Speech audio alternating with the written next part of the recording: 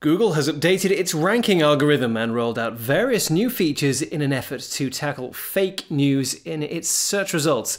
In an announcement on its blog, it said that the ranking algorithm had been updated to boost more authoritative pages and demote low quality content. It's also introduced misleading information, offensive results, hoaxes, and unsupported conspiracy theories as factors to be taken into account by Google evaluators who test the algorithms whilst they are in beta.